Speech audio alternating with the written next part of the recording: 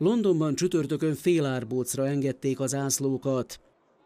Mark Rowley, a brit terrorelhárítás vezetője beszámolt arról, hogy a sebesültek száma összesen 40. A sérültek között különféle nemzetiségű emberek vannak, három francia, két román, négy dél-koreai, egy olasz, egy amerikai és két görög állampolgár is. Az emberek megnyugtatása érdekében a következő napokban több fegyveres rendőr lesz az utcákon, az ügyön pedig rendőrök százai dolgoznak.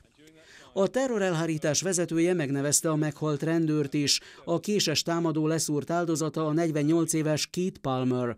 A rendőrség vizsgálja, hogy a támadón kívül, aki egyedül hajtotta végre tettét, mások segítettek-e ebben, vagy részt vettek-e a tervezésben, tette hozzá. Bejelentette, hogy felülvizsgálják a brit parlament épületére vonatkozó biztonsági előírásokat.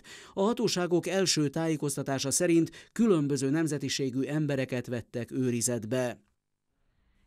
Tereza May közölte, hogy Nagy-Britanniában született a szerdai londoni merénylet elkövetője, aki ellen néhány éve a brit elhárítás vizsgálatot folytatott szélsőséges nézetei miatt. A brit miniszterelnök szerint a támadó azért vette célba a parlamentet, mert ez a demokrácia, a szabadság, az emberi jogok és jogállam jelképe. Úgy fogalmazott, a britek soha nem fognak engedni a terrornak.